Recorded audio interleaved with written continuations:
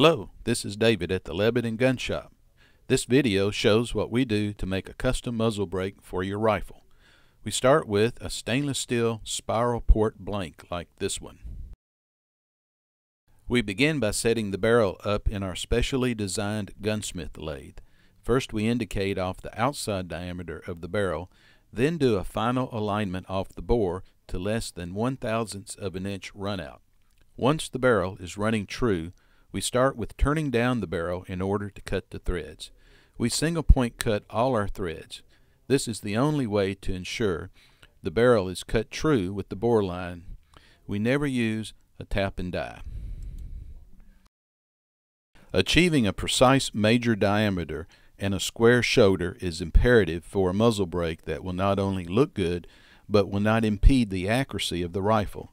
Special care is paid attention to not damage the crown of the barrel. You may notice the brass cone that is being used to protect the crown while the live center holds it in place. This is an example of the care we provide to your barrel while we're working on it.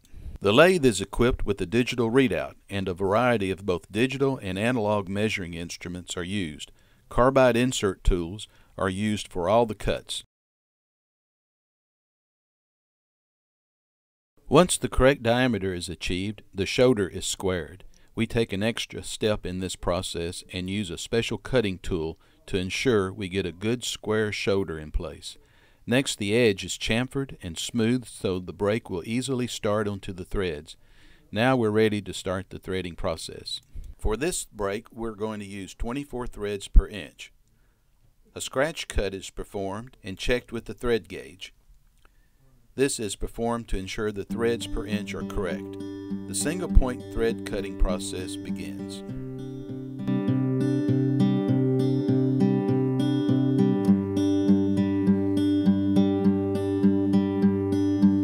The brake is checked periodically to ensure a snug fit.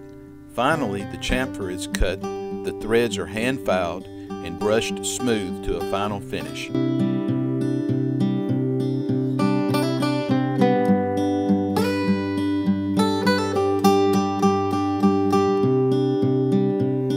Then the inside diameter is cut to match the bullet outside diameter to 20 thousandths of an inch. The final step is to sand the muzzle brake in various grit paper to match the finish of the barrel.